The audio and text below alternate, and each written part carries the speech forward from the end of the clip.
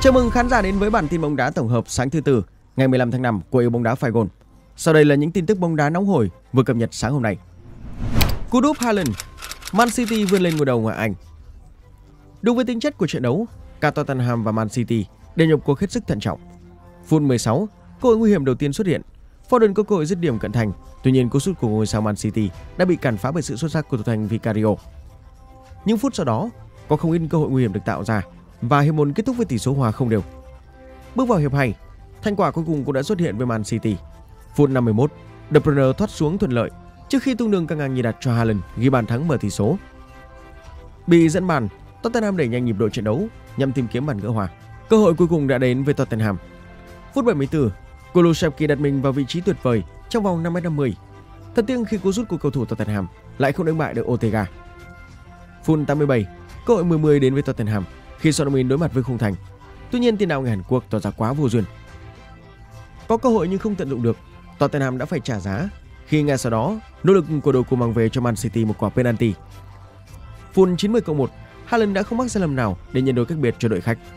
Trung cuộc, Man City thắng 2-0 và gần như đặt dấu chấm hết cho Arsenal trong cuộc đua vô địch. Cổ động viên Arsenal gây náo loạn trước trận Tottenham Man City. An ninh tại sân vận động Tottenham Hotspur sẽ được giám sát chặt chẽ với người mộ Arsenal tối nay, trong bối cảnh lo ngại rằng vé sân nhà đang bị cổ động viên pháo thủ sở hữu. Mail Sport cho biết, bất kỳ ai bị phát hiện đến sân để cổ vũ cho Arsenal, trái ngược với việc là một cổ động viên Tottenham chân chính, muốn xem đội nhà đối đầu với Manchester City sẽ bị đuổi khỏi sân. Đó là bởi vì người đó sẽ vi phạm quy định cơ bản của câu lạc bộ, cũng như các điều khoản và điều kiện về vé lẫn tư cách thành viên của họ. Trong quá khứ, một sự việc tương tự cũng từng gây xôn xao. Đó là vào tháng 4, khi một cổ động viên Arsenal giành được một tấm vé xem trận đấu của Spurs. Anh bất cần để lộ chiếc áo sơ mi đỏ mặc bên trong chiếc áo khoác, trong khi đội khách ăn mừng chiến thắng 3-2. Hiện chưa rõ liệu các cuộc kiểm tra an ninh bổ sung có được tiến hành tại các cửa giả soát vé hay không. Trước chiến làm khách của Man City, Sportmail nhận thấy người mộ Arsenal đang khoe khoang về việc họ đã thành công như thế nào trong việc mua vé từ cổ động viên gà trống cho trận đấu giữa Spurs và Man City. Phòng Football bất ngờ trao lại quả bóng vàng 2020. Trong một báo cáo gây sốc, From Football được cho là đang cân nhắc khả năng trao quả bóng vàng 2020 cho tiền đạo Robert Lewandowski. Chân sút người Ba Lan đoạt quân ba của Bayern Munich năm đó, nhưng đã bỏ lỡ quả bóng vàng khi buổi lễ bị hủy do hạn chế của Covid-19.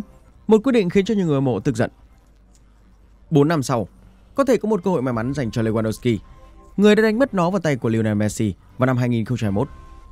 Nhà báo Ivan San Antonio của Diario Sport đưa tin rằng From Football đang xem xét trao giải quả bóng vàng 2020 cho Lewandowski trong năm nay. Trong khi đó, Lewandowski cho biết anh sẽ rất vinh dự khi giành được nó dù phải có 4 năm đi chăng nữa. Siêu sao người Ba Lan cho biết thông qua One Football.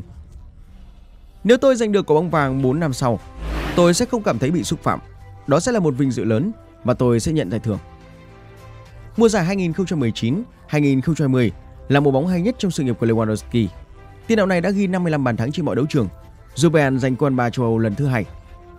Anh cũng là vua phá lưới ở Bundesliga 34 bàn và Champions League 15 bàn, giành chiếc giày vàng ở mỗi giải đấu. Không một cầu thủ nào khác, kể cả Lionel Messi hay Cristiano Ronaldo, có thể so sánh được kỷ lục chói sáng của cựu ngôi sao Borussia Dortmund ở mùa giải đó. Lewandowski được cho là sẽ giành quả bóng vàng năm đó, cho đến khi có thông báo rằng giải thưởng sẽ không được trao do Covid-19. Quyết định này đã vấp phải sự chỉ trích rộng rãi vì hầu hết các giải đấu lớn ở châu Âu cũng đã hoạt động trở lại sau một thời gian tạm dừng. Trong đó, Champions League cũng hoạt động trở lại vào tháng 7 cùng năm. Đội tuyển Đức bất ngờ loại hai ngôi sao hàng đầu tại Euro 2024. Đội tuyển chủ nhà Đức sẽ bước vào giải đấu Euro 2024 với tư cách là một trong những ứng cử viên hàng đầu cho ngôi vô địch. Bất chấp phong độ không ổn định của họ trong những giải đấu lớn gần đây, nhưng cô xe tăng vẫn được nhiều chuyên gia đánh giá rất cao do được thi đấu trên sân nhà. Nhiệm vụ lựa chọn đội hình cho Euro 2024 của huấn luyện viên Nagelsmann đã dễ dàng hơn đôi chút vào tháng trước, khi UEFA bỏ phiếu tăng đội hình từ 23 lên 26 cầu thủ. Bất chấp động thái đó, nhà cầm quân người Đức vẫn quyết định loại hai huyền thoại của bóng đá Đức ra khỏi đội hình của mình. Theo nguồn tin hàng đầu ở Đức, hãng tin hàng đầu ở Đức Bild tuyên bố rằng hậu vệ của Dortmund Matt Hummel, người đã bước sang tuổi 35, sẽ không có tên trong đội hình của Die Mannschaft tham dự ngày hội bóng đá lớn nhất châu Âu 2024. Bất chấp phong độ ấn tượng của hậu vệ này thời gian gần đây, đặc biệt là hai trận bán kết cúp C1 gần đây giữa Dortmund với PSG. Ngoài ra, phóng viên người Đức Kerry Hau cũng tiết lộ tiền vệ Leon Goretzka của Bayern Munich sẽ không được gọi lên đội tuyển. Đây là quyết định không có gì bất ngờ so với trường hợp của Hummel. Goretzka năm nay 29 tuổi nhưng đang gặp khó khăn về phong độ và bị loại khỏi đội tuyển Đức trong đợt tập trung quốc tế vừa qua.